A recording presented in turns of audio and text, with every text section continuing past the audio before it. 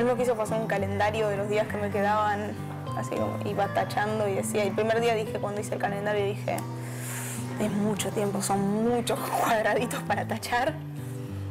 Y, después uno, uno aprende, viste, qué sé yo, a vivir el día a día, a pensar un poco más en corto plazo. Bueno, no puedes pensar en falta un mes o faltan dos meses. Entonces pensaba, bueno, mañana pasa tal cosa, mañana viene mi abogado y voy a tener más información. Eh, pero sí, fue, fue mucho más tiempo de lo que pensé que iba a estar ahí. Mucho más tiempo. Después de haber estado dos meses, te digo que estar, tener un café o una galletita al lado, poder abrazar a mi mamá. No, no. Las cosas, viste, por darle la mano a mis compañeros y decirle, loco, te extrañé,